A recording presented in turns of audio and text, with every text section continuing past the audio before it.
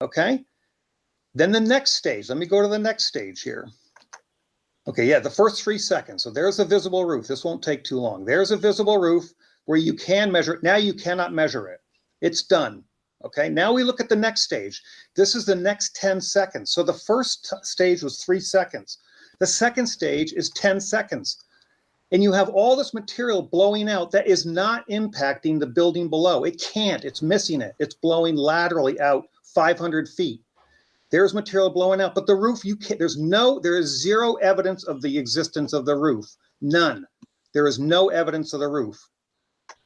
Okay. And again, much of that destruction is outside of the footprint. That material could not have impacted the building itself. So any anytime you look at this thing, you can't assume the full load because the full load's not over the center of the building. Anyway, Jonathan, you promised me something and show me something else.